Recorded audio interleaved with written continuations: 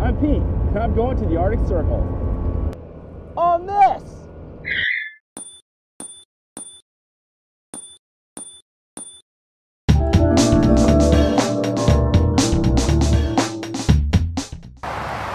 People keep asking me, how do you fit all that stuff on a scooter? Well, you're about to find out.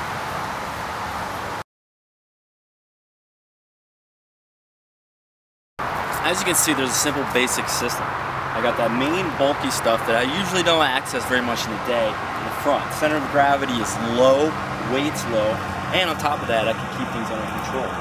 In back, I've got, you know, things that I might need to access a little more often.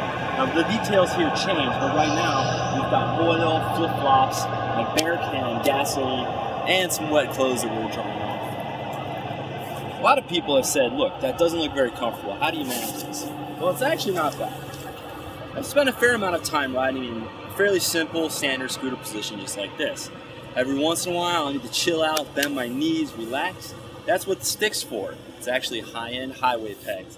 I can just sit back, relax, enjoy the ride.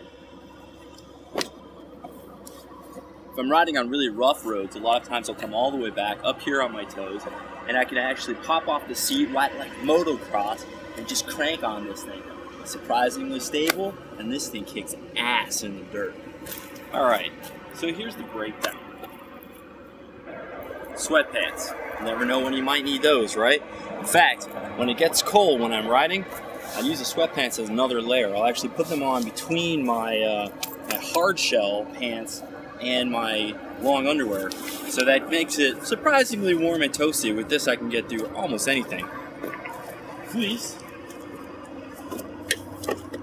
An obvious no-brainer, just part of the simple layering system for cold weather. A gas can, as you can see, two and a half gallons, gets me 250 meters. Mosquito repellent, needs to stay accessible.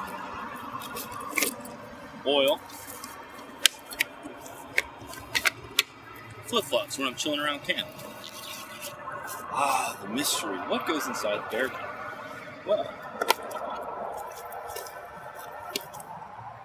normally the bear can would have food inside. Right now, it's a little bit different. Let's see what we got. The first thing in the bear can, toiletries. Second thing in the bear can is, oddly enough, a bear. Why is there a bear in my bear can? You'll find that out soon.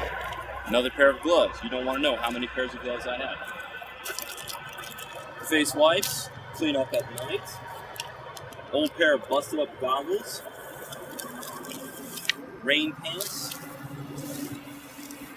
Eh, maybe 30 feet of 550 pound test type 3 paracord. Another set of gloves. Oil rag.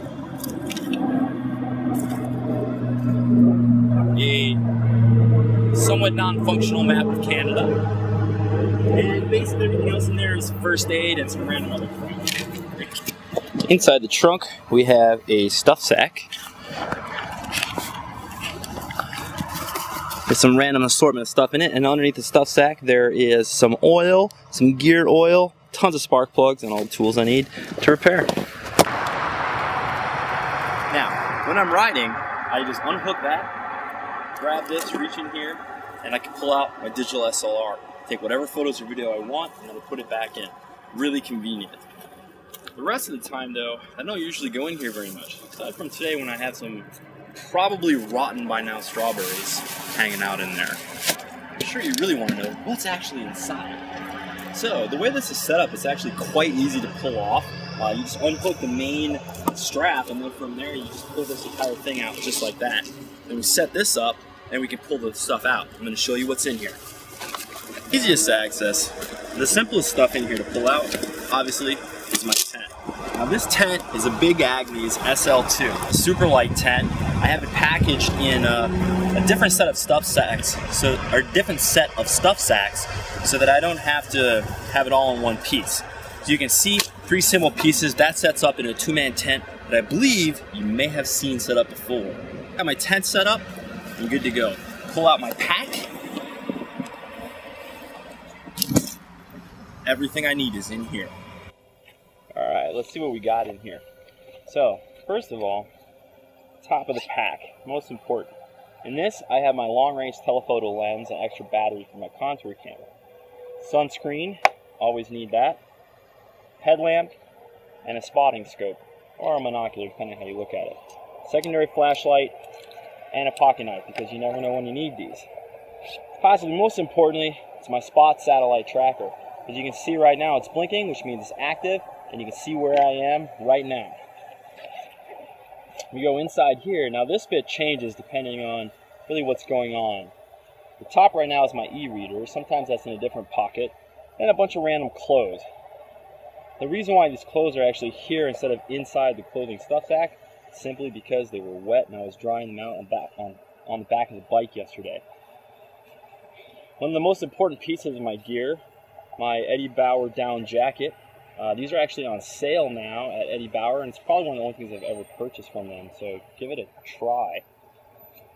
Another North Face fleece is part of my layering system.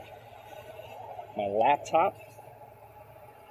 What else we have in here? Some more clothes, mouthwash, some electronics. My Thermarest, uh, Thermolite Reactor Extreme fabric liner. This is actually really awesome. Keeps me nice and warm, and I never have a problem with it. Big Agnes, uh, Big Agnes Air Core. This is my air mattress. It packs down really small, but ends up being a pretty big, nice, comfy, uh, one or two and a half inch air mattress that I can actually sleep on sideways, and it's completely perfect. And last, but certainly not least, my suspicious knockoff sleeping bag in a suspicious knockoff North Face uh, stuff sack, which I got in Nepal. This is what I use to set up camp. This is where my random daily stuff goes. This is my spare clean clothes, which today there are no clean clothes, so I don't need to get to it. Now, one of the cool things about the Rattler actually is that it has an accessory plug, so I can charge my phone on the go. That goes right here, and it's absolutely fantastic. Now you know how to fit a whole bunch of stuff onto a little teeny scooter. Pretty wicked, huh?